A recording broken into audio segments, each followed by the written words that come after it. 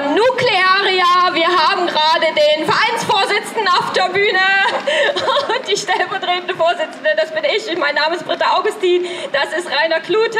Hallo. Und ja, wir freuen uns, dass das äh, so ein schöner Tag für uns wird, dass wir hier Spaß haben, dass niemand traurig sein muss, weil äh, weltweit gesehen die Kernkraft gewinnt, unsere Kernkraftwerke sind nicht verloren und sie können, die Kernkraft kann nach Deutschland zurückkommen. Gar kein Problem.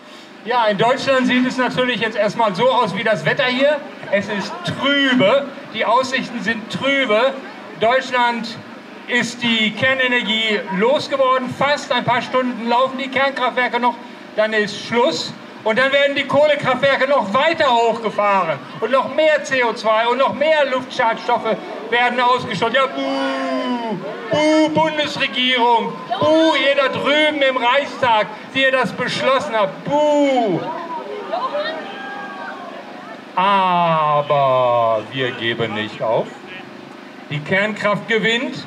Weltweit ist die Kernenergie auf dem Vormarsch.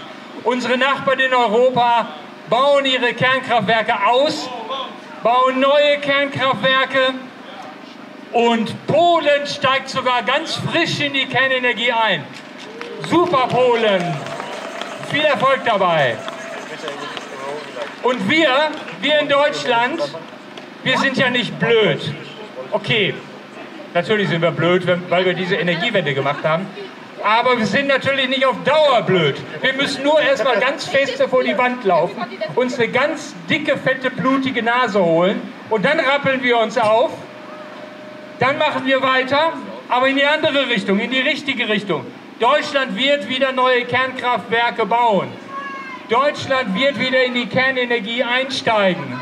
Und dann werden wir wirklich zu einem Land, das den Klimawandel bekämpft und zeigt, wie Klimaschutz geht. Wir sind nicht die Ersten, aber wir werden uns dem, denen anschließen, die da jetzt schon Vorreiter sind. Danke, Rainer Klute, Vorsitzender des Nuklearia e.V. Danke, danke, Rainer.